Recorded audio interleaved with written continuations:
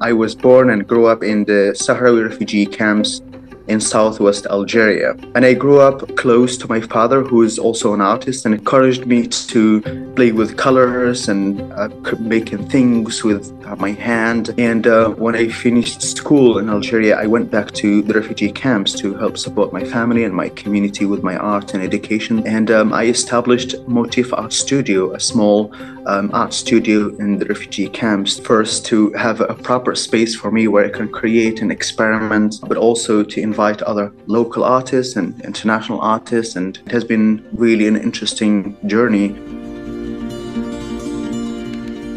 I have been working with different art media. I've been working with photography, with film, with art installation. I also write. When I established Motif Art Studio, I didn't have any funding, so I, I, resorted to discarded materials to build the actual studio itself, and that inspired me to create different art based on the local materials because it's accessible. It's also great material to raise awareness about different issues, including environmental issues um, that are affecting our lives, not just globally, but also locally.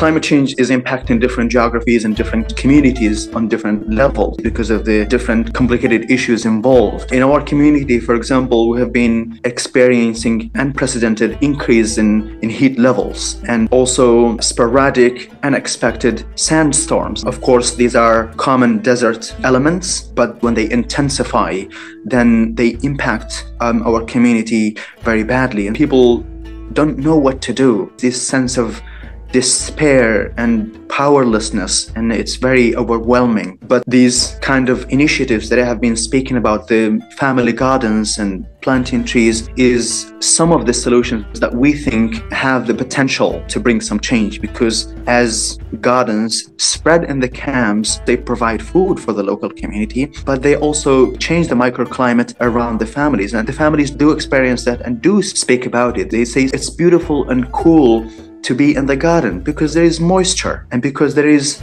shade.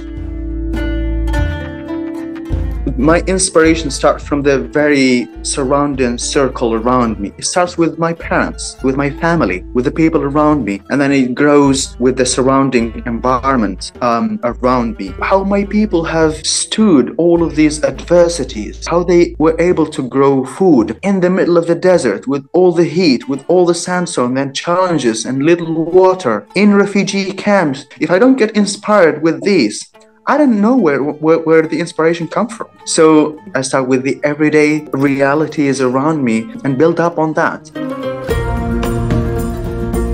I generally let the creative process unfold, but the creative process unfolds in many subjects, and that's the beauty of it.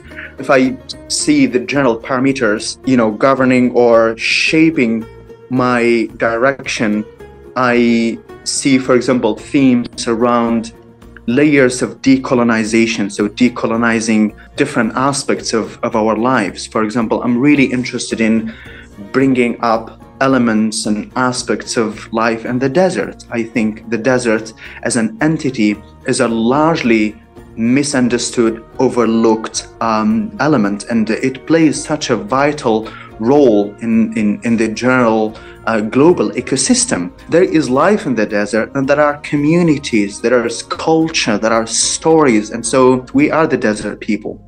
And if it's getting too hot for us, good luck the rest of the world.